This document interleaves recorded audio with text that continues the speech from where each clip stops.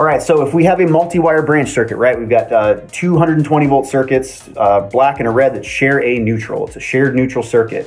If you have completely balanced loads, then you're not even using the neutral. The neutral is pointless. So if we lose the neutral, it's actually okay because it's using the greater 240 volt circuit to complete the circuit anyways.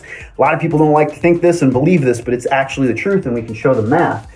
So if we have our two 5 ohm resistors at 120 volts, we get 24 amps, right? I equals E over R. But if we lose the neutral and we have the 240 volt circuit, we've doubled our voltage, but we've also doubled the resistance. We put both resistors in series, so there's twice as much resistance. So now we have 10 ohms of total resistance, 240 volts, and it shows 24 amps. So that just means that regardless of the neutral, the neutral's not being used. So the circuit is actually 240 volts going through two resistances rather than 120 going through one or each resistance.